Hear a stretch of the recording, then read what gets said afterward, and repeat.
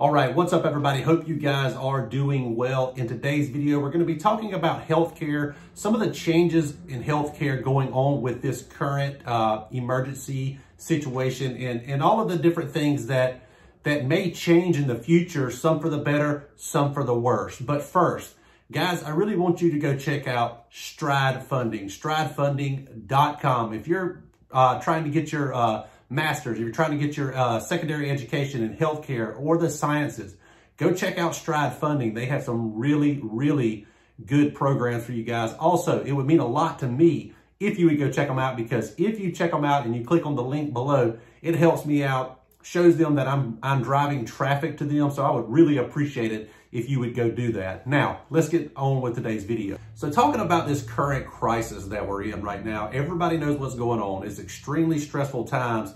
Uh, I see that New York's getting hit really, really bad. But I want to talk about some of the negatives and positives that's going on in, in this current environment for healthcare workers. For me, I think I, am going to kind of talk about my personal experiences in the ER and some of the things that I've dealt with uh, in the ER that I see that are negative, but also positive.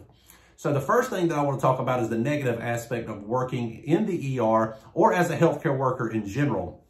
Um, so I think probably the number one negative aspect is that is your mental health, is your emotional health, your anxiety. You know, when this thing first came out, because there's a lot of stuff we still don't know. You know, I'm hearing multiple things coming in from all these other different sources of media saying, hey, these this this amount of people are dying this amount of people dying over here. So you really don't know. I mean, there's even doctors with me in the ER that fully don't know really what this, what this current virus really is capable of. Now, you know, on the surface, it seems like, hey, if you're an elderly person with comorbidities, you're at the higher, highest risk.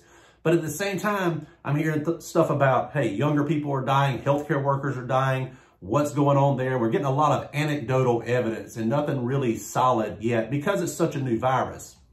So I think that, you know, that unknown, that anxiety that goes with the unknown, that's probably the scariest point. Now, I want to I want to kind of follow up with that and talk about your own personal philosophy. Uh, accept, you know, accepting your fate. And I, and I don't mean that in a, in a, in a negative sense or, or in a sense that, hey, you just got to go in there and work. No, I'm, I'm saying these types of things happen in everyday life.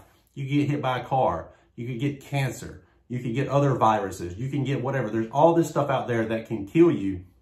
And this just adds to it. Now, plus, with this stuff being constantly in the media 24-7, the coronavirus, the coronavirus, it, it's just constantly in the media. And it gets a little frustrating because it's like, all right, there are people dying, but at the same time, if you put this same kind of focus on the flu virus, right? And you just really focus in on the flu virus and you focus in on everything, every testing, Hell, I've got tests the, on, on the flu virus three or four times, three or four positives on a ship. That's not unusual during flu season. So I'm, you know, the fact that we're overly focusing on this kind of makes it worse as well. Um, and I think that, you know, we got to put all of this in perspective.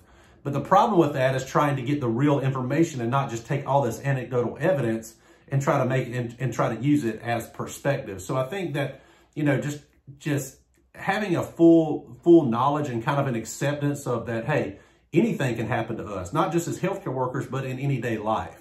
And really understand that and, um, and, you know, and learn how to deal with that properly. Because if you let this thing get out of hand, you can get anxiety. It may lead to depression. It may lead, especially when you're cooped up all day. You know, you're, you're working your shift and then you go home and then you're quarantined. You can't go have a beer. You can't go hang out with your friends. You can't do whatever, you know, and that's, I think that's a big aspect of of this thing is also the mental the mental aspect, the emotional aspect. So I would definitely say that would probably be the, the number one negative. Now, I want to talk about one of the positive things that can really come out of this is, uh, is, is how we deal with, with crises such as this in the future, you know, especially from the healthcare side. I think it's obvious now we need to make sure we have uh, all of our PPE, all of our masks, you know, things like that because, and be prepared for that. Because what if another virus comes out in the future? I mean, viruses are a part of life. We have to, you know, if you're not, if you didn't know that, if you're in healthcare and didn't know that, I'm, I'm sorry. But viruses are a part of life just like we are. It's how we respond to it and how we prepare for these public emergencies that's so important. And, um, and that kind of puts it in perspective too, you know, understanding that, hey, viruses are a part of life. And the positive aspect that can come out of that is, hey, we need to be prepared to treat these situations. I remember when the uh, when the AIDS virus and HIV were, were just rampant in the late 80s and early 90s.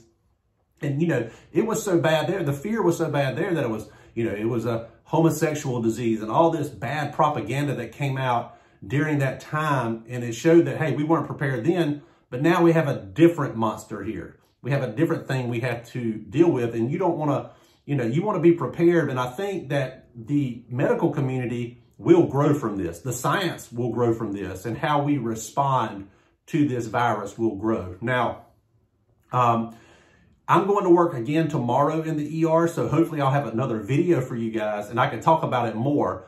But there's a lot of good stuff going on. I don't think, um, you know, part of me, some some days I'm like, oh man, this, this thing's going to pass. And then some days I'm like, oh, this is going to be really, really bad. And I think that's kind of the ebb and flow of normal emotions in life. But, but anyways, guys, I just wanted to talk about kind of the, a negative and a positive aspect of this virus and, and how we're going to come through this because we're going to get through it. You know, again, I talked on the other video about, you know, I'm more worried probably long-term uh, economic issues for the country more than I am actually the virus. We just got to get through this part first. Um, but anyways, guys, I'll have another video tomorrow. I'm about to pump out a lot of videos here uh, now that I have some time to record some videos and, and write my thoughts down and get a lot more videos out. So, um, so yeah. So anyways, guys, y'all have a good one. Peace out.